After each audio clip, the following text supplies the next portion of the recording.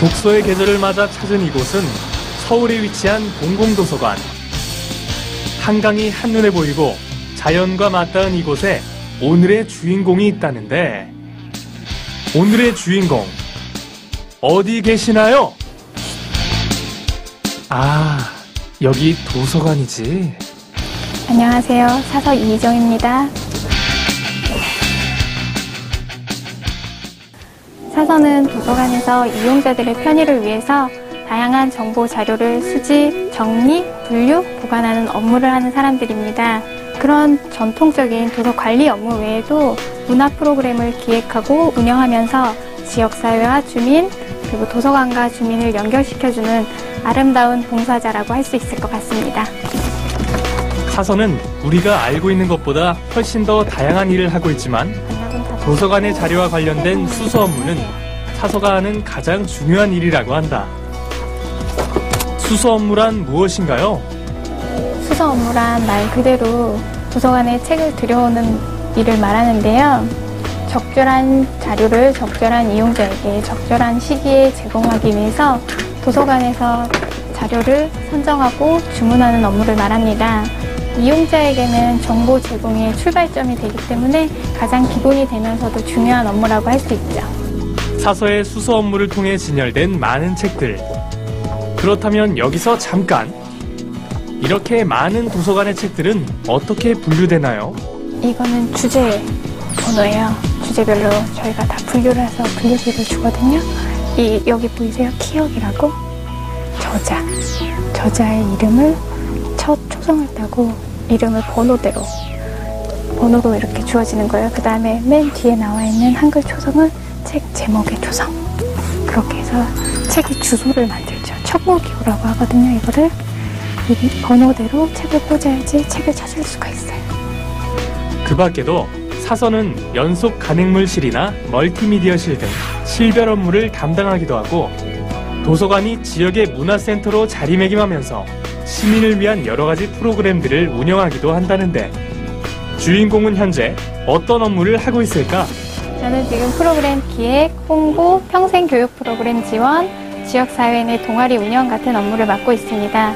예전에는 열람 업무나 정리 업무를 했었는데 개인적으로는 이렇게 프로그램을 기획하고 운영하는 것이 좀 더 적성에 맞는 것 같습니다. 이렇듯 사서는 도서관 전체의 운영과 연결되는 거의 모든 업무를 담당하고 있다. 다만 근무하는 도서관의 규모와 특성에 따라 사서의 역할도 조금씩 차이가 있다고 한다. 사서의 역할은 어떻게 달라지나요?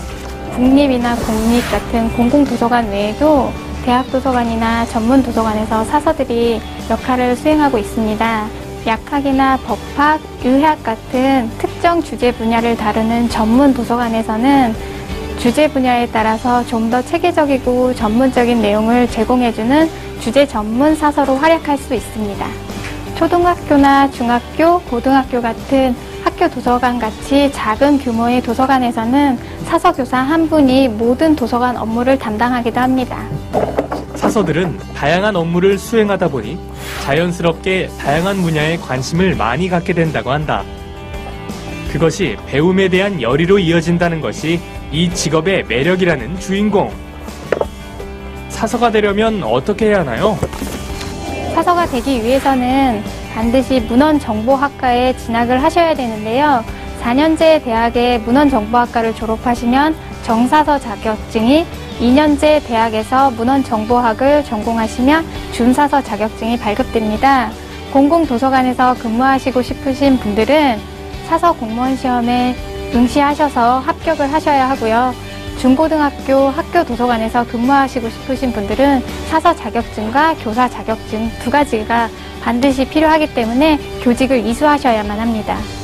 그리고 오전 9시부터 밤 10시까지 일주일에 한 번 휴관일을 제외하고는 이용자들을 향해 불을 밝히고 있는 도서관. 주말에도 근무해야 하는 어려움이 있기에 봉사정신이 반드시 필요한 직업이라고 하는데 사서에게 필요한 자질은 무엇인가요? 정보 자료와 이용자를 연결해주는 징검다리 같은 역할을 하는 직업이기 때문에 이용자들과 잘 소통하고 원활한 성격이 필요하고요. 수많은 정보 자료와 함께 필요한 자료를 뽑아내서 이용자들에게 전달할 수 있는 꼼꼼함과 세심함이 필요하다고 생각됩니다. 도서관을 방문한 모든 이들에게 편리함을 제공하고자 노력하는 아름다운 봉사자 사서. 그들에게 감사의 박수를 보냅니다. 미래의 멋진 사서가 될 여러분들과 함께 누구라도 다시 한번 찾고 싶은 아름다운 도서관을 만들어 가겠습니다.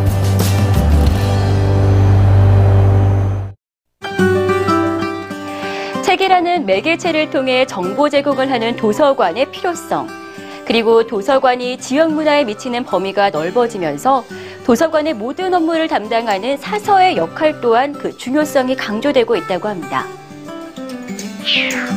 관련 교육으로는 전문대학 및 대학교의 문헌정보학과가 있습니다. 문헌정보학과를 졸업하지 않았더라도 일부 대학에서 운영하는 사서 교육원을 통해 일년의 교육과정을 이수하는 방법이 있습니다. 전문대학의 문헌정보 관련 학과를 졸업하면 준사서 자격을, 4년제 대학교와 문헌정보 관련 학과를 졸업하면 2급 정사서 자격을 취득할 수 있습니다. 그리고 2급 정사서 자격증을 소지하고 도서관에서 9년 이상 근무한 후 지정 교육기관에서 교육을 이수하게 되면 1급 정사서 자격을 취득할 수 있습니다. 사서는 주로 국공립 도서관, 전문 도서관, 대학 도서관, 학교 도서관 등으로 진출합니다. 이 외에도 사서는 문헌 정보의 관리를 필요로 하는 연구소, 자료실, 학술 정보관, 인터넷 정보 검색 업체, 인터넷 정보 제공 업체 등으로 진출할 수 있습니다. 한 나라의 미래를 알려면 도서관을 봐야 한다는 말이 있습니다. 많은 나라가 도서관을 설치해 미래를 준비하기 때문인데 단지 책을 쌓아두는 창고가 아니라 사람과 책을 이어주고 지식과 정보가 교류되는 아름다운 공간을 만들어가는 직업, 바로 사서가 아닐까요?